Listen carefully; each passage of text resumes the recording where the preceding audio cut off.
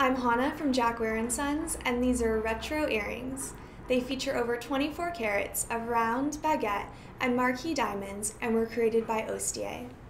Ostier, which was in business from 1938 to 1969, was founded by Oliver, a third generation Austrian court jeweler, and Marianne, his wife who trained at the Vienna Academy of Arts and Crafts. Oliver and Marianne emigrated to New York in 1938 after the Nazi annexation of Austria and changed their name from Osterreicher to Ostier. Marianne's background in painting and sculpting allowed her to create some of the retro period's most striking jewelry, and she won many awards for her designs. Ostier provided its Manhattan clientele with some of the most fashionable jewelry during the 40s and 50s. Own a piece of jewelry history with these earrings.